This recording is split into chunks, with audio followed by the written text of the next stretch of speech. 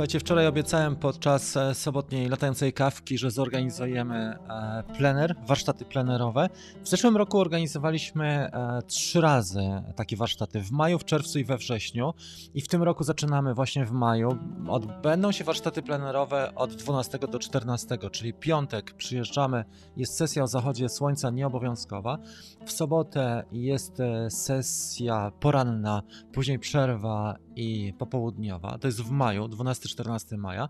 I w niedzielę jest sesja e, jedna, poranna plus podsumowanie. Fajna sprawa, dlatego że jest możliwość integracji, poznania się też z kolegami ze mną w pięknych miejscach przede wszystkim, bo uczestnicy są pod dużym wrażeniem. Jak mieliśmy te sesje, te warsztaty w zeszłym roku, to naprawdę ludzie byli pod dużym wrażeniem i mówili, że nie sądzili, że w Polsce jeszcze takie miejsca można znaleźć, naprawdę ładne. Także podzielę się tymi najlepszymi spotami. Po co są te warsztaty? One są zorganizowane dla osób, które latają mawikami głównie, ale też osobami, które dopiero wchodzą w świat dronów i chcieliby spróbować swoich sił w zakresie FPV, czyli chcieliby dowiedzieć się, jaki sprzęt sobie kupić, jak to jest właściwie latać w goglach, jakie to jest uczucie, czy to jest dla nich bez inwestowania kasy, w sprzęt, prawda? Bo wiadomo, że gogle potrafią kosztować dobre 3000 zł, nie mówiąc o dronie czy radiu.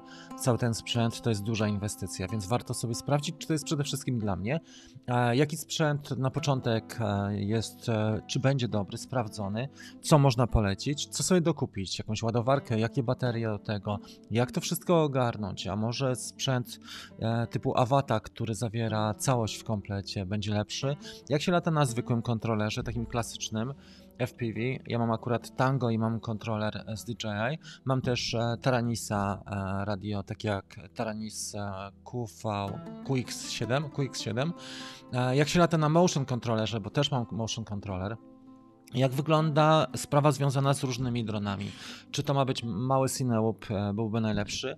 Czy może zacząć od e, pięciocalowego, bo on jest najlepszy znowu do latania na zewnątrz? Czy może jednak zdecydować się na watę? O tym wszystkim powiemy, trochę na temat bezpieczeństwa. Będziemy też latać, pokażę symulator, jak sobie ćwiczyć, jak tą ścieżkę rozwoju obrać żeby e, możliwie najbardziej bezboleśnie e, ten proces przejść, jeżeli chodzi o wejście w świat FPV. W FPV bardzo warto latać, dlatego że ta branża się niezwykle rozwija, te ujęcia są niepowtarzalne i to jest doświadczenie, które jest najbliższe lataniu.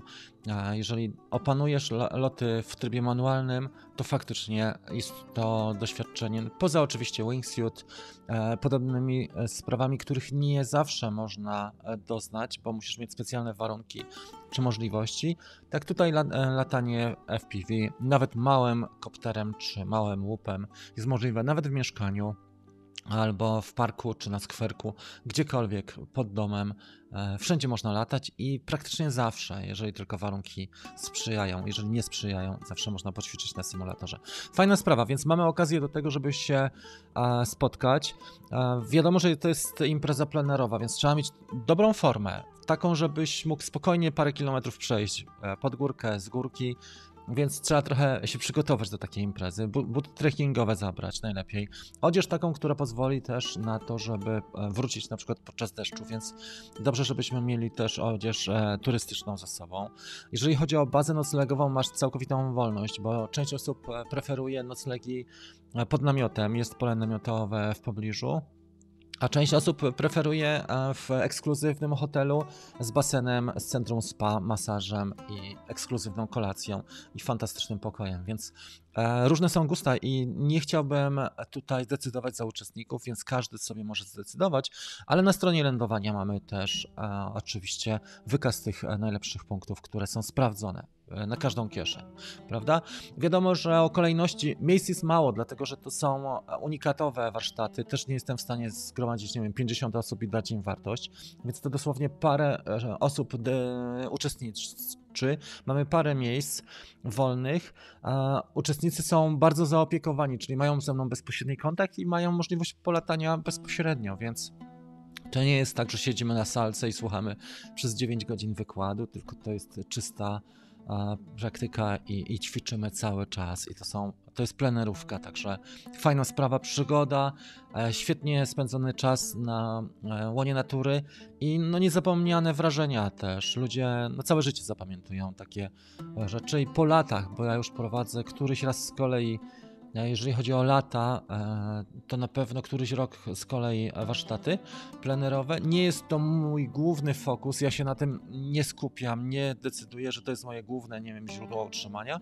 Robię to po to, żeby ludzie, którzy chcą faktycznie się spotkać i mają taką ochotę, mają e, faktycznie taką wizję, żeby przyjechać i zobaczyć, jak to wszystko wygląda od środka, żeby mogli e, doznać takiego weekendu.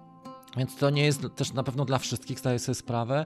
E, dla wszystkich mam e, YouTube'a i ten kanał, gdzie poświęcam 99% czasu na to, żeby za darmo dawać ludziom wartość e, na dużą skalę prawda? Tutaj jest to zupełnie inaczej, bo tu mamy ten wierzchołek góry lodowej, gdzie tylko parę osób uczestniczy. A więc jeżeli będą warunki słabsze pogodowe, wiadomo, że będziemy też ćwiczyć na symulatorach, ale będziemy też skupiać się na poznaniu sprzętu i podjęciu właściwej decyzji. E, natomiast zwykle jest tak, że są okna pogodowe. Nawet jak trafimy w kiepski weekend, to są okna pogodowe i nawet jak padało, to zrobiliśmy naprawdę dużo latania, bo są i okapy, i są miejsca, E, osłonięte przed e, e, deszczem. Można też zastanowić się, czy nie, czy nie znajdziemy czegoś pod dachem. Tak czy inaczej, jest to jak najbardziej do zrobienia, jeżeli chodzi o cennik. Wszystko znajdziecie na stronie lądowania i też w dziale warunki uczestnictwa.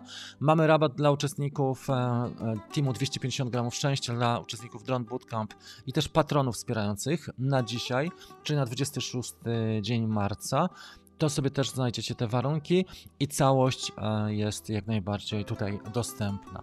Fajna sprawa, myślę, że warto spróbować. W zeszłym roku mieliśmy super ekipę przez trzy razy i ciągle były jakieś przygody, naprawdę było i kupę śmiechu i człowiek się oderwał od rzeczywistości, jak przyjechał. I ludzie do dzisiaj wspominają, piszą do mnie, czy dzwonią, czy nagrywają wiadomości głosowe, że było świetnie i chętnie by powtórzyli. Także zapraszam Was bardzo serdecznie, nie ma się co zastanawiać, bo takie rzeczy się pamięta przez całe życie, a możesz nakupić sobie akcesoriów za dużo większą kasę niż koszty udziału i te wszystkie akcesoria leżą w szufladzie, nie korzysta człowiek z nich i później żałuje.